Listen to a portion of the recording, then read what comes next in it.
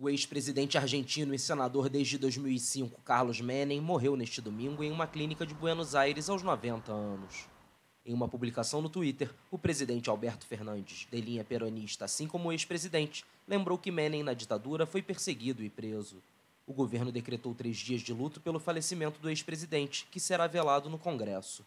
As políticas implementadas por Menem durante seu governo entre 1989 e 1999, dentro de um programa neoliberal, geram discussões até hoje entre os argentinos.